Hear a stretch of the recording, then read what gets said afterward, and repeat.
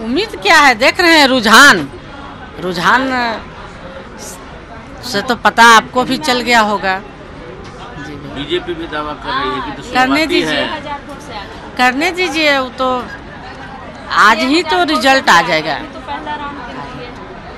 क्या लगता है जनता के जो इतना बीच में आप घूमी उसी का परिणाम आ रहा है क्या? जो विधायक जी का विकास किए हैं और जनता के हमेशा दुख में सुख में सेवा किए हैं।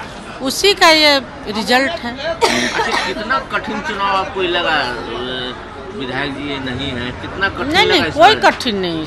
हमारे जनता अभिभावक जो समर्थक कार्यकर्ता लोग हैं अभिभावक लोग का आशीर्वाद है सब लोग साथ में हैं।